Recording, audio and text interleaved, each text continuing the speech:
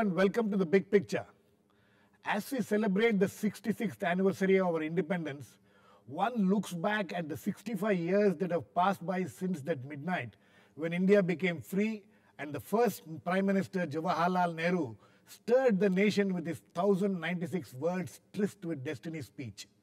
The extempore speech, which encapsulated the hopes, dreams, as well as fears and concerns of a new nation, has inspired generations of Indians ever since and continues to inspire in a way that few other speeches have since. Every year since, we have witnessed the successive prime ministers and presidents address the nation on Independence Day, and through these years, these speeches have had varied quality and impact. Significantly, one has observed through these years that the speeches have become more a report of intent and to some extent performance rather than of inspiration. The prepared nature of the speeches has robbed the spontaneity of an extempore speech, which comes from the heart of the person. Should these speeches of such important occasions be what it has become? Or should it revert to the post independence nature of soul stirring, inspiring speeches? What kind of impact do these speeches made on such occasions have on the people of this country?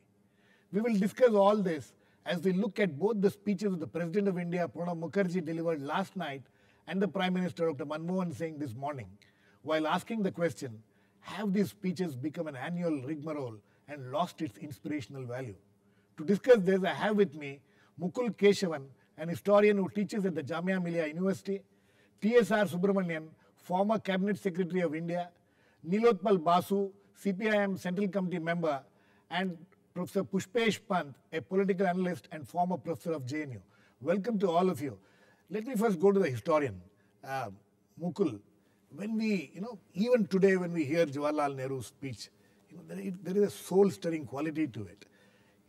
Ever since, you know, when, you, when we listen to these Independence Day speeches every year, what is it that, as a historian, you feel when you listen to these kind of speeches? Well, you know, I can remember going as a very young boy, five or six years old. Uh, I can't say that I remember Panditji speak from the Red Fort, but I was certainly there on a couple of occasions where he did speak. My parents used to make it a point to take me there. It does seem to me, though, that if you think of the platform, it's a great pulpit. I mean, it's the place where Bahadur Shah Zafar uh, rallied the rebels in 1857. It's the place that Subhash Bose wanted to Right. go to famously. It's where, as you said, Panditji made his inspirational speeches from. But if you look at the Prime Minister's speech this morning, uh, the sense you get is not of a great political pulpit where the leader of a parliamentary democracy uh, puts his vision out for the nation. It's a time, it seems like a dead time in a television schedule. And really, what it sounds is like a speech made at an annual general meeting of a failing company in whom nobody is interested. You know, uh, the extraordinary thing about this speech is who wrote it? Because Absolutely. there's a part in the speech where the Prime Minister actually refers to electrification Right. about the promise to elect. Now, if I was a politician, not a statesman, just a politician, I would say that, look, India has had a kind of world record blackout. Uh, not once, but twice in, in recent in, memory. in two days. in two days. So, is it a good idea for me to put this into my speech?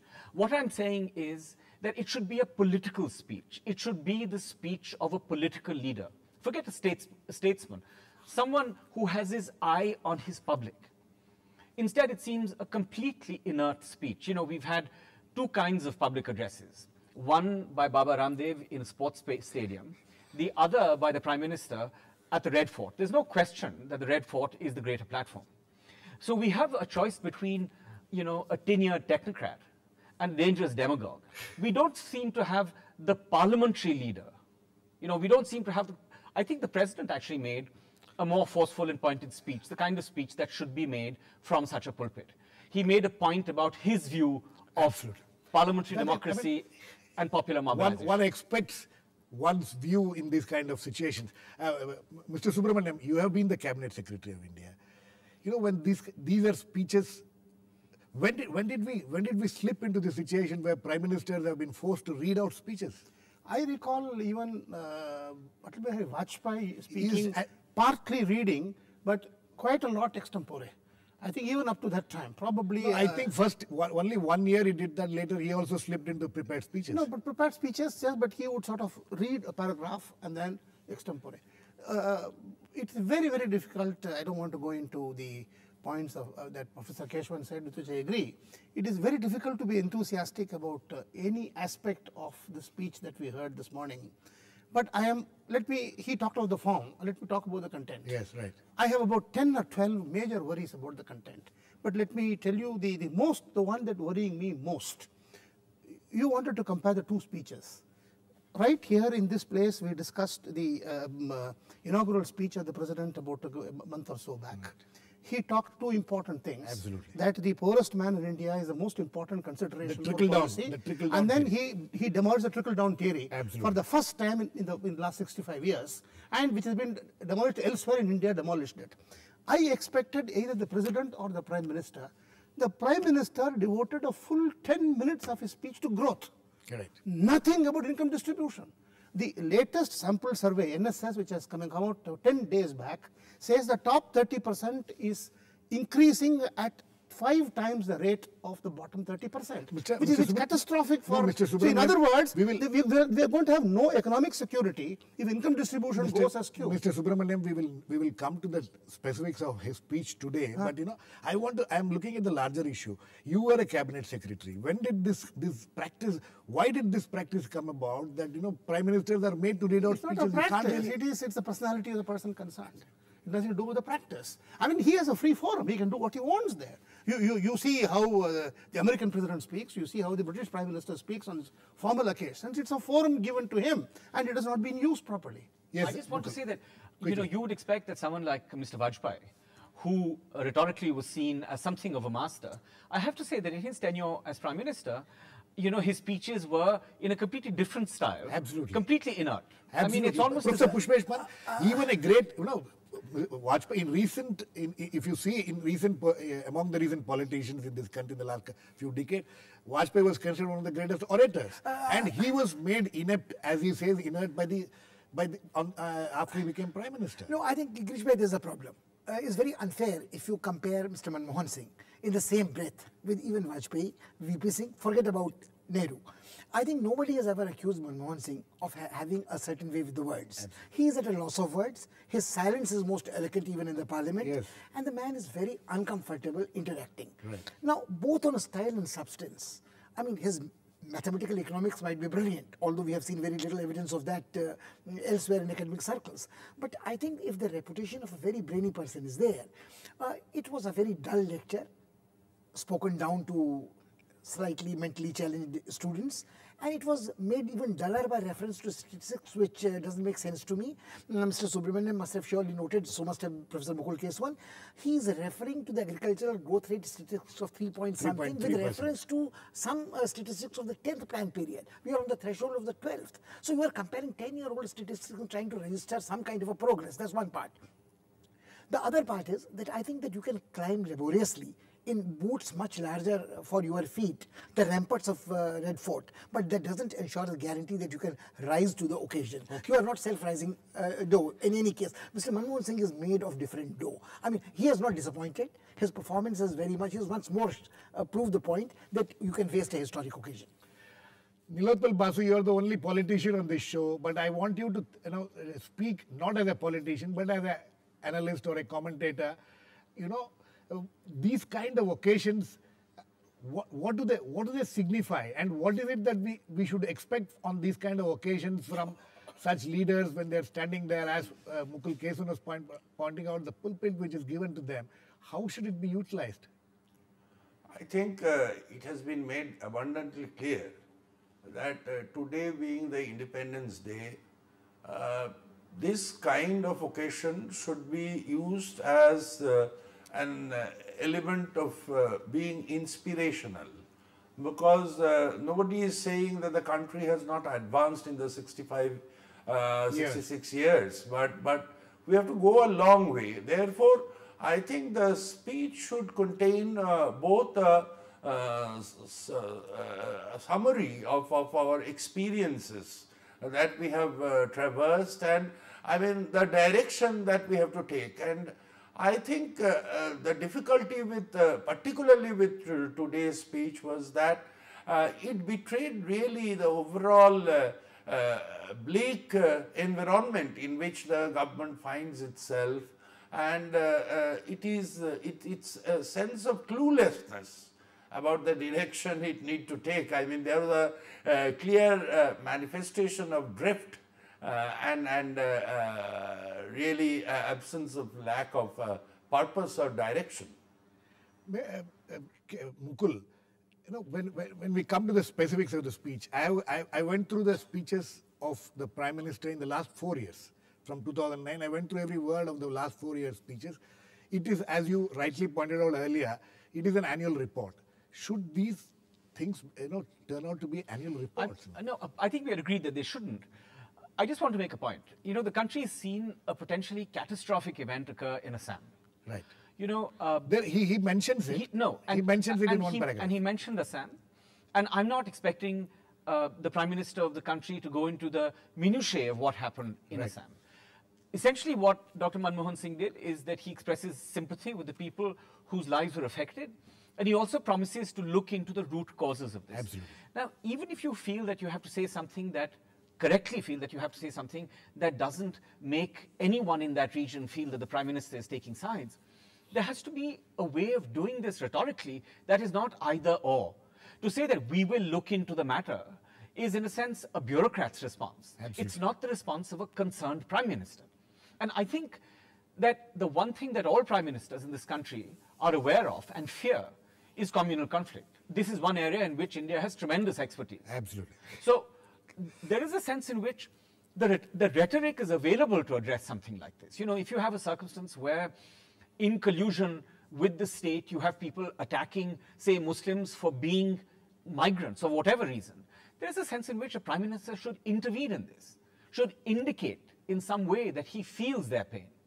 Why is, uh, Mr. Subramanian, why do you think these speeches have lost, have lost its soul, you know, over the period of years? Even during the time of Indira Gandhi, we would see her, you know, it was extempore speech, there was passion in her speech, there was, you know, whether you liked it or not, that she was, she was talking from her heart. I think two factors now. This particular No, case. wait, I, wait, one second. I, I want to find out, you were the cabinet secretary, what is the role of the bureaucracy in, in, in, in preparing these kind of speeches? How much do they influence the prime minister's mind when they do, when, uh, The, when- this is usually done. This speech is usually done in the Prime Minister's personal secretariat. Okay. The re- oh, oh, full secretariat doesn't come. Normally, come into the picture. Right. Though they can call for facts, information, etc. Usually, facts are compiled. Right. Then, nearly the three prime ministers I worked with uh, at different times, they would apply their own mind, use their own words maybe the speech is drafted for them, but they would go through it, rehearse it once. But uh, this appeared to be a dead uh, sort of written speech by somebody else. I didn't. Uh, it did not. Uh, uh, there are. I, I, can. Your time is limited. Let me make just two short points. Vichar kar rahe hain. I heard ten, ten times. One would have said vichar kar liya. Ye kar, ye kar liya. Ye nirnay le liya. But vichar kar rahe hain is something like, as he said, purely bureaucratic expression the matter is under consideration. Uh, you know, one, two, three, four, five, six matters under consideration. Uh, number one. Number two, in some other context, I was giving some other lecture, I looked at the first five year plan, 1950, uh, um, uh, um, 1984, uh, sixth plan, and then the 11th plan, 2009. The preface written by the prime, then Prime Minister of the day, nearly the same words were used for poverty alleviation, for, uh, for education, primary education, public health. Practically the same words, including income distribution astonishingly, I was waiting for those words. The same words recurred this morning in identical form. Somebody has used the computer and found there's a good enough one. No, something is seriously wrong if we say the same thing 65 years. This is an age of plagiarism. People are getting into trouble on the issues of plagiarism. anyway, we need to go into a short break now. Please keep watching. We'll be back soon and continue this very interesting discussion.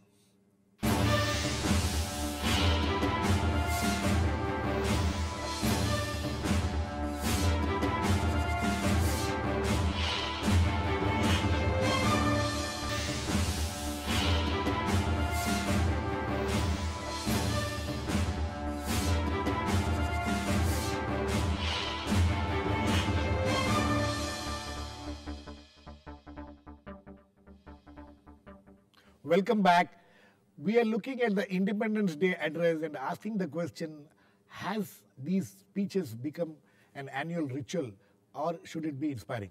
Uh, Nilotpal, coming back to you, you know, the, the, the problem with the political uh, uh, structure which is, which is there and also the bureaucratic structure, as Mr. Subramanian was pointing out, do you think that that you know the prime ministers in the last several years have become too much influenced by the bureaucratic structure. The bureaucracy, you know, defines what how it should be done.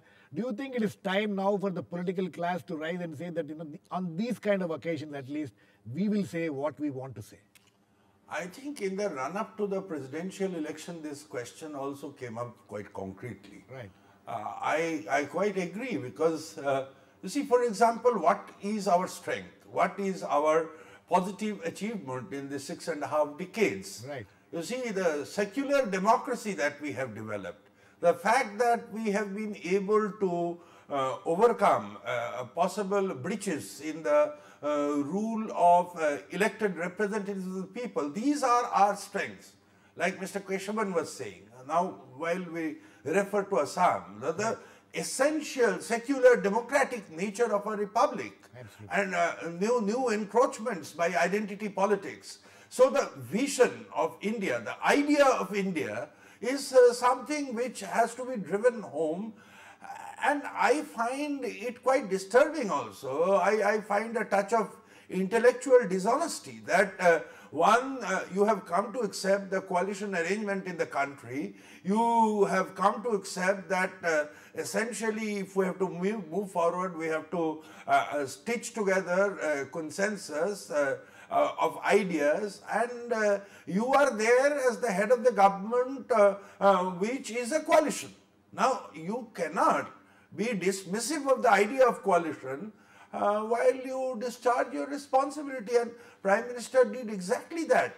Therefore, I think some of the basic uh, conceptions, uh, some of the basic conceptual ideas which uh, is uh, uh, which ought to be uh, converted into India's strength, uh, that needs to be underlined, and uh, the Prime Minister is way off the mark. And uh, I, I'm- I, quite agree that uh, it is not the stuff of the bureaucrats. It is the, the, the spirit of India, the political uh, uh, instinct of India has to come through these speeches. Okay, may I- Professor Pant, uh, you know, is it also a reflection of the times in which we are in now? No, I think compared it's, to, uh, compared to what. I don't think we have to be Why very- do these kind of inspirational? Where are the inspirational speeches? I, I, I think the inspirational speeches are not missing. I think you yourself referred to the president's speech uh, last evening. I think it is inspirational in its own way. It may not be a gung-ho uh, cheerleader kind of a speech, but it makes you think. Right. There are evocative phrases there. It makes you think. I think the taking and there are of there's a personal touch. Absolutely. And I think there is the concern. I think the speech made by the vice president, uh, assuming his office for the second time, has very evocative phrases, memorable words that Indian people are not passive receptivity. Absolutely. They have an active dream, etc. Yes. I think you know you don't have to go by the length of half an hour speech which the prime minister delivers.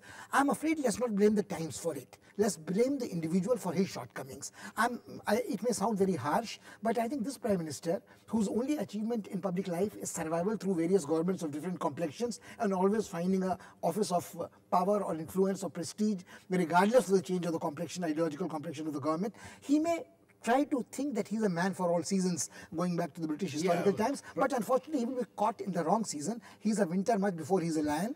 Uh, a lion in winter is not apt for him. And I think he has lost personal credibility. Nobody would have quibbled with his style or his lack of eloquence. I think uh, uh, Mukul, uh, Professor Pant is Professor Pushpesh Pant has been very, I mean, pretty harsh, and we will we will give him the, his uh, point of view. Freedom of expression. Freedom of expression. Uh, but you know, the as uh, he himself was, as Professor Pant earlier was pointing out, Dr. Manmohan Singh is a different kind, is a very reserved, private kind of person.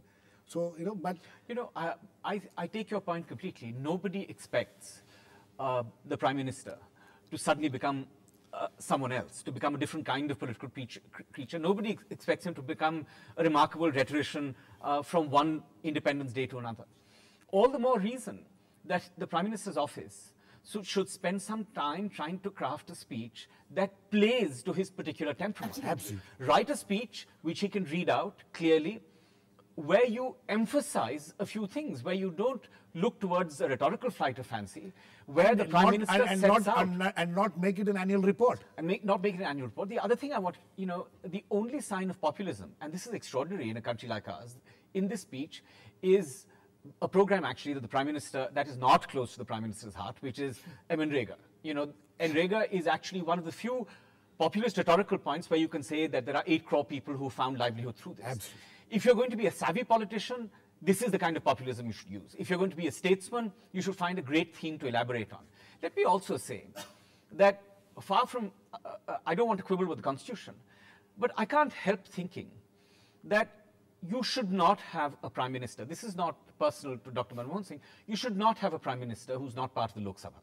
There is a sense in which you are cut off from the process of That's electioneering. a, that, that is a separate. You know, that's this a separate debate I'm altogether. the- you in know, fact, in fact, I, the- I want to make this point specifically because, you know, on the other side, say in the BJP, you have a very good and distinguished speaker like Mr. Arun Jaitley, who's also in, the Rajya Rajya Sabha.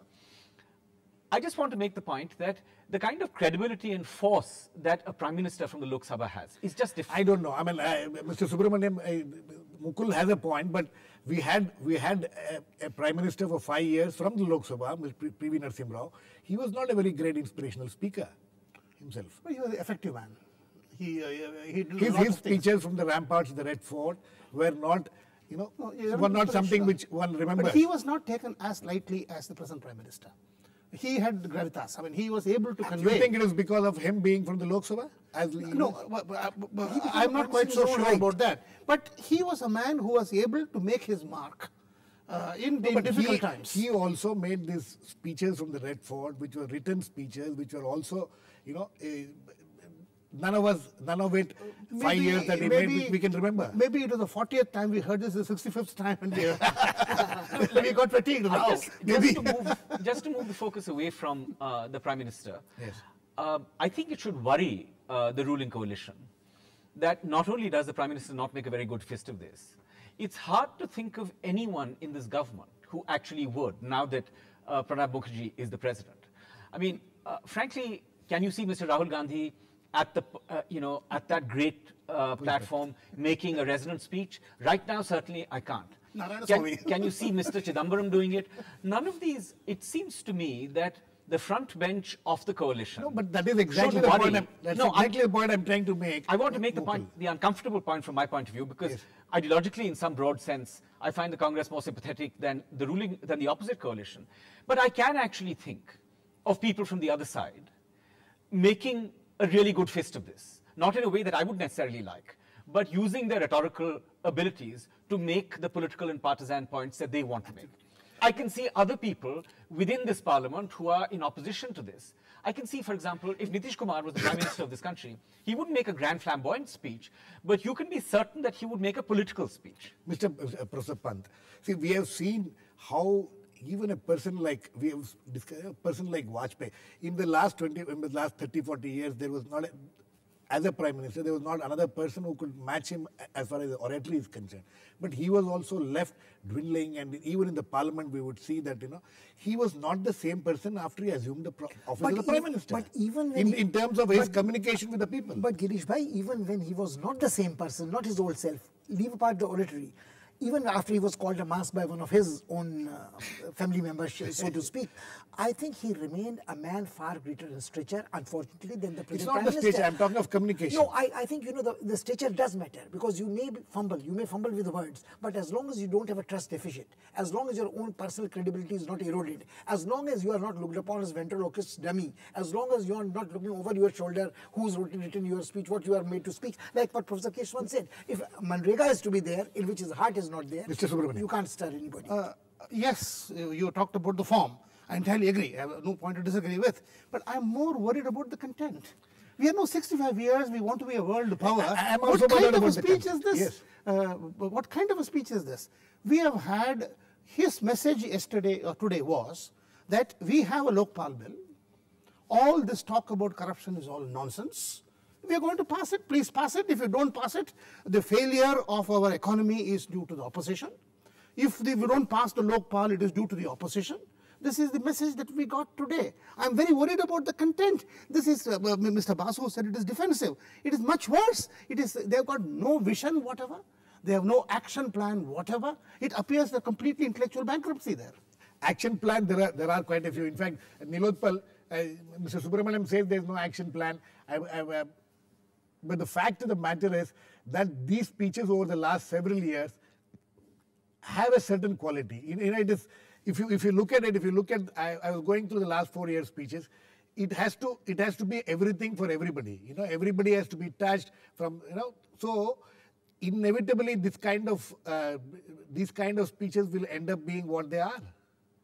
Unfortunately, the problem is with conceptualization of coalition and coalition of ideas. I mean, which uh, uh, I have to uh, be impolite and say the Prime Minister has uh, actually not understand uh, has not understood the co concept of coalition in these troubled times.